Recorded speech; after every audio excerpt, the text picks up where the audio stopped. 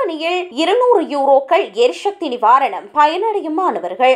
ஜெர்மனியில் இருநூறு யூரோக்கள் எரிசக்தி நிவாரணம் வழங்குவதற்கு அனுமதி வழங்கப்பட்டுள்ளமையினால் மாணவர்கள் கைகளுக்கு மேலதிக பணம் வந்தடையும் என்று எதிர்பார்க்கப்படுகிறது.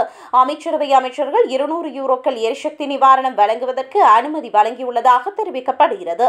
மாணவர்களுக்காக ஒருமுறை கட்டணம் செலுத்தும் விவரங்கள் முதலில் அரசாங்கத்தின் மூன்றாவது எரிசக்தி நிவாரண பொதியில் அமைக்கப்பட்டன. இது அதிகரித்து வரும் வாழ்க்கை செலவில் மக்களுக்கு உதவுவதற்கு உதவுவதற்கான பல்வேறு நடவடிக்கைகளை உள்ளடக்கியதாகும்.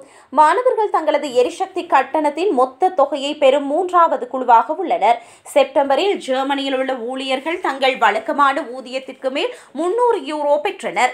அதே நேரத்தில் ஓய்வூதியம் பெறுபவர்களும் டிசம்பர் பதினைந்தாம் தேதிக்குள் முன்னூறு யூரோவை பெற உள்ளனர். ஒரு பல்கலைக்கழகம் அல்லது தொழில்நுட்ப கல்லூரியில் திட்டங்களில் பதிவு செய்யப்பட்ட சுமார் மூன்று தசம் நான்கு மில்லியன் மாணவர்கள் ஜெர்மனியில் தங்களுடைய முக்கிய வசிப்பிடத்தை வைத்திருந்தால் அவர்கள் பணம் செலுத்த தகுதியுடையவர்களாக இருப்பார்கள்.